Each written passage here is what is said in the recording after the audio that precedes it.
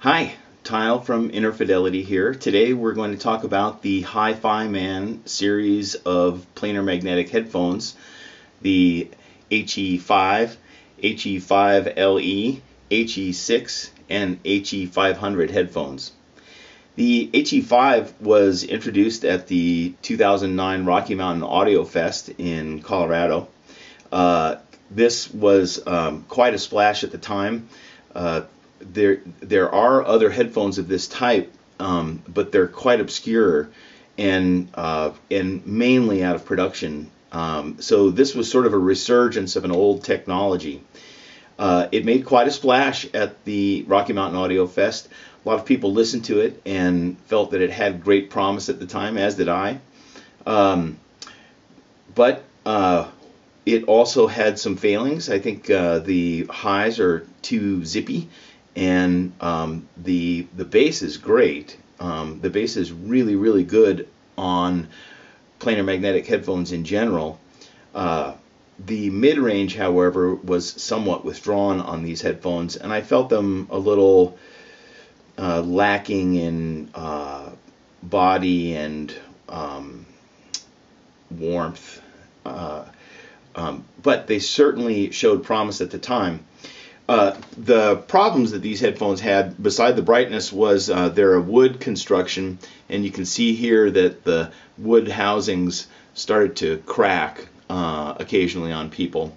And uh, so HiFiMAN uh, in 2010 produced the HE5LE as the replacement for the HE5. Um, this now has a synthetic body on it, and the highs were tamed somewhat uh, I thought they were very good sounding at the time. I was really appreciative of the direction that HiFiMAN was going in developing these headphones and developing the sound of these headphones. So this was a good headphone, uh, except it still had a bit of a, uh, a lack of uh, body in the mid-range. Um, then the HE6 came along. Um, this headphone was a definite improvement again uh, has a much more balanced sound, or significantly more balanced sound than the HE5LE.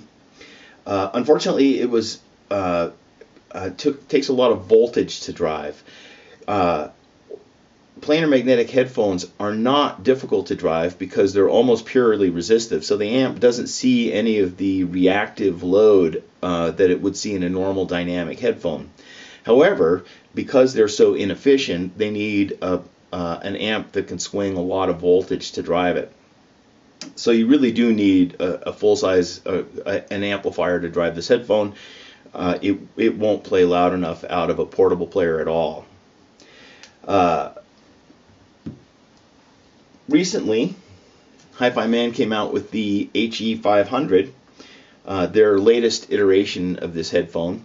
The highs were tamed again a little bit, brought into control, and the mids were brought out. Uh, and this headphone I find as a terrifically well balanced headphone. The sound is absolutely fabulous. I would re- recommend it in a heartbeat. Um, I prefer to listen to this headphone than uh, Sennheiser HD800, which sounds a little bit analytical and lacking in weight, similar to this headphone um, through the mid range.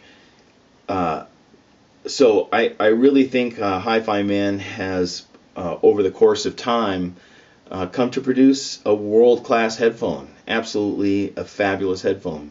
The other headphone that's like these headphones is the Audeze LCD2. I find the LCD2 a little um, slow, not uh, having a withdrawn treble. Uh, I also find that the HE500 is still a little bit too quick, a little bit too bright. So they sort of bracket what I would consider the sweet spot. They're both quite close though, and um, they're both terrific headphones. Um, nonetheless, I would say that HiFiMAN has now uh, reached the point where I would consider this a, a world-class headphone, and I would highly, highly recommend it to anybody looking for this type of uh, headphone at home. Uh, Thanks for watching, and we'll see you next time.